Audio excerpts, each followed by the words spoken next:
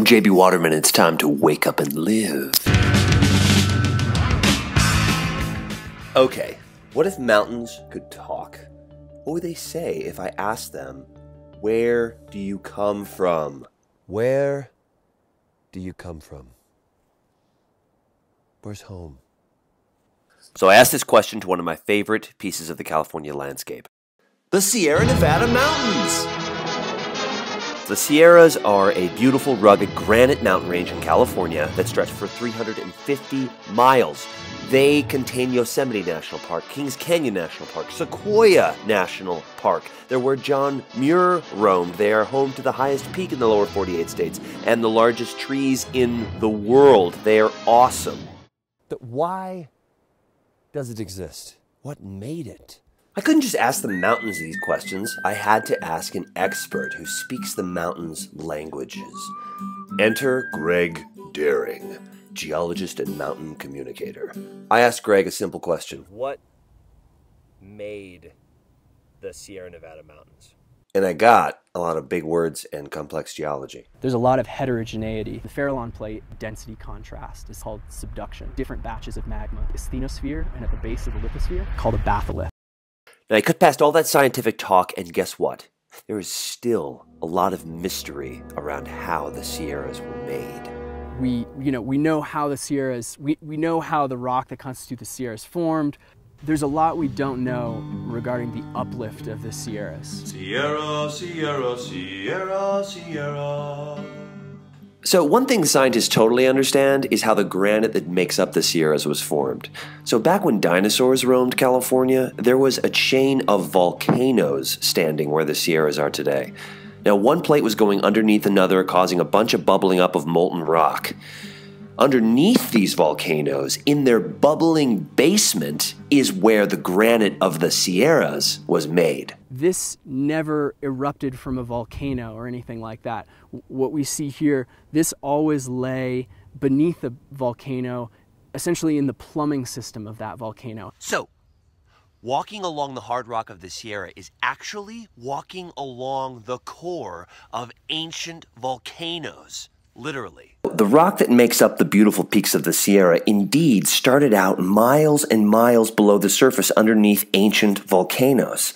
And to a geologist, this is like buried treasure. It's totally buried treasure. Yeah, I mean, who hasn't wondered kind of what was underneath when you see something cool like a mountain range? The Sierras are a mountain range and simultaneously are showing us what's underneath other mountain ranges, like the Andes or like the Cascade Arc.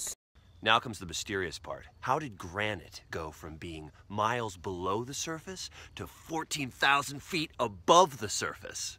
So, I mean, that's a great question. We have not settled with a single consensus on, on, on what's drive, what did drive, and what continues to drive the uplift of the Sierras. How did your rocks form? Why did you get so high? Some scientists believe that the Sierran granite was pushed up from below, but Greg says that we shouldn't think of the mountains necessarily as being driven up at all.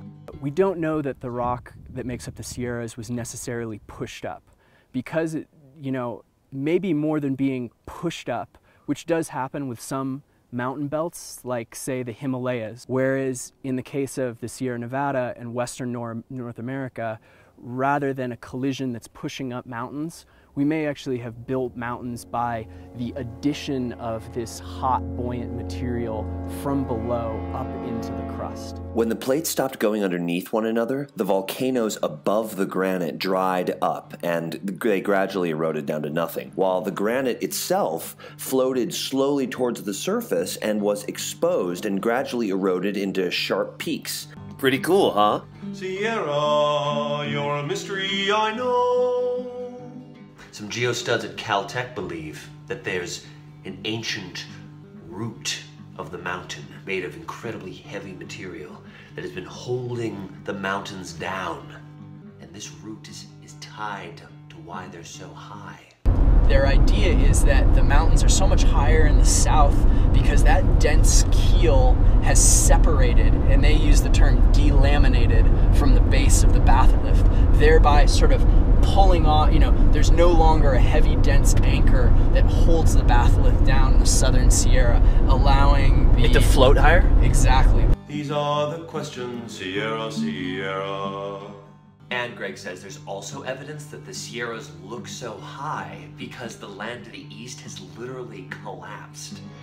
While those ancient volcanoes were dying, the area of Nevada and Utah were being stretched thin by plate movement. Now, as Nevada got thinner, its land dropped away along the eastern edge of the Sierras, making the sharp, dramatic eastern face of the mountains that you see so clearly from Highway 395. So while the beauty of the Sierras is evident, the reasons behind their height are still shrouded in a fair amount of mystery. And as geologists work to translate the language of the mountains, they also have to work to translate the many languages that exist within the field of geology itself. There's no single language that you know geoscientists speak. Um, a person who's taking modern day GPS measurements may speak to a hydrologist who's an expert in river systems and the development of canyons. That person may speak to a seismologist or somebody that studies earthquakes and faulting, and they really don't. You know, they may try to speak the same language, but but they don't. People come at these problems from so many different ways, and no one discipline is going to answer the question about how the mountains formed, right? Do you think there's a Nobel Prize waiting for someone who answers the question? There's no Nobel Prize in geology, unfortunately. there should be. So I hope that you will talk to me when I ask you the questions. Where did you come from, Sierra, Sierra?